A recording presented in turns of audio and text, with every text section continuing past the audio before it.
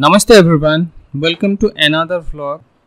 another uh, new vlog uh, in Balasore district. ଯେ ଆମ ଓଡ଼ିଶା ମାଟିର ବର ମାନେ କବିବର ରାଧାନାଥ ରାୟଙ୍କର ଜନ୍ମପୀଠକୁ ଆମେ ଯାଉଛୁ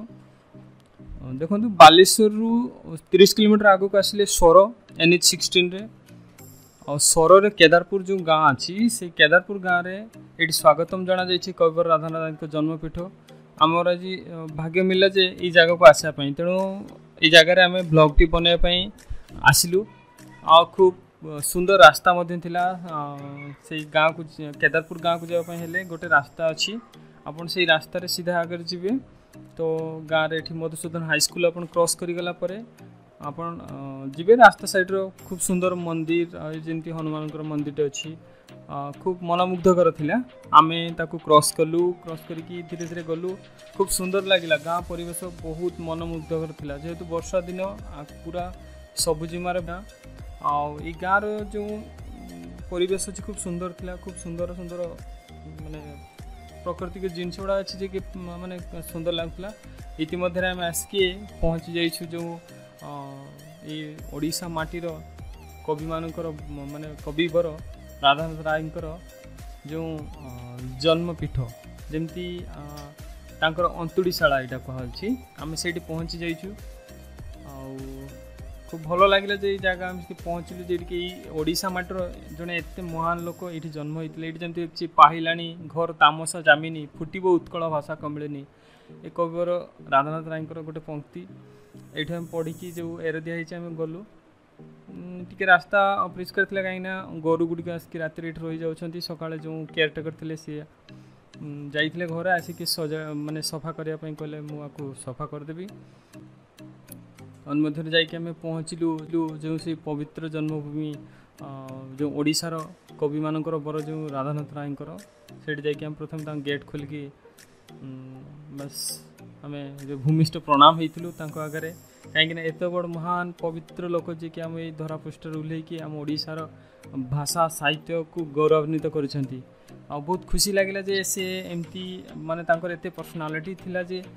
ସେ ଯେ ଯେହେତୁକି ସେ ଜଣେ ବେଙ୍ଗଲରୁ ଆସିଥିଲେ ତାଙ୍କର ସପରିବାର ଆସିକି ଏଇ ଜାଗାରେ ରହିଥିଲେ ଆଉ ସେ ବେଙ୍ଗଲୀ ଜଣେ ହେଇକି ଓଡ଼ିଶା ଭାଷାକୁ ବୁଝି ଓଡ଼ିଶା ସାହିତ୍ୟକୁ ବୁଝିକି କବିବର ଉପାଧି ପାଇସାରିକି ଓଡ଼ିଶା ସାହିତ୍ୟକୁ ପୁରା ଏକ ଉନ୍ନତ ମାନେ କାଫି ଉନ୍ନତ ଉପରକୁ ନେଇଯାଇଥିଲେ ତେଣୁ ତାଙ୍କୁ ଶତ ଶତ ନମନ ଦେଲୁ ଏଇ ଯେ ଘର ଥିଲା ତାଙ୍କର ଜନ୍ମ ଯେଉଁଠି କୁଆଁ କୁଆଁ ରାବ ତାଙ୍କର ଶୁଭିଥିଲା ଏଇ ଘରରୁ ସେ ଜନ୍ମ ହେଇଥିଲେ ଆଉ ଏଇଠାରୁ ହିଁ ସେ ତାଙ୍କର ସ୍କୁଲିଂ ଆରମ୍ଭ କରିକି ଆଜିକ ଆଜି ଯେଉଁ ଆମେ ମାନେ ଦେଖୁଛୁ ଦେଖୁଛୁ ଯେଉଁ ତାଙ୍କର ଯେ ସୁନାମ ଓଡ଼ିଶା ସାହିତ୍ୟରେ ଅଛି ସେଇଥିରେ ସେ ଉଣେଇଶହ ଅଡ଼ଚାଳିଶ ମସିହାରେ ଜନ୍ମ ହୋଇଥିଲେ ସେପ୍ଟେମ୍ବର ଅଠେଇଶ ତାରିଖରେ ଆଉ ସେଇଠୁ ହିଁ ସେ ତାଙ୍କର ସ୍କୁଲ ସବୁ ସାରି ସିଏ ଜଣେ ସୁନାମଧନ୍ୟ ମାନେ ଜଣେ ଭଲ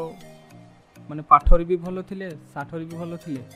ଆଉ ଏଇଠି ଆମେ ଦେଖିବା ଯେ ତାଙ୍କର ଯେଉଁ ଯେ ହଲ୍ଟି ଅଛି ତାଙ୍କର ଯେଉଁ ଘରଟା ଥିଲା ସେଇଟା ହଲ୍ କରିଦିଆଯାଇଛି ଯେଉଁଠିକି ମିଟିଂ କି କୌଣସି କୌଣସି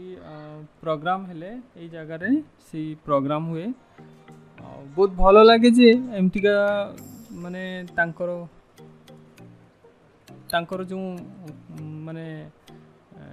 এই যে হলটি রয়েছে মিটিং বগেরা তাঁর যা বি সব হুয়ে এই জায়গার হুয়ে সরকারঙ্কর যা হোক সেটি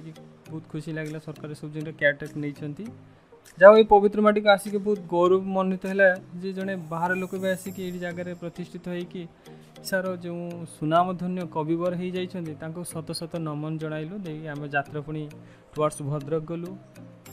ଆଉ ଗାଁ ରାସ୍ତା ବହୁତ ସୁନ୍ଦର ଲାଗିଲି ଯେ ଲାଗିଲା ଯେ ପୁରା ସବୁଜିମା ଭରିପୂର୍ଣ୍ଣ ଏଇ ରାସ୍ତା ଆମକୁ ଆଗକୁ ଆମେ ଧୀରେ ଧୀରେ ଗଲୁ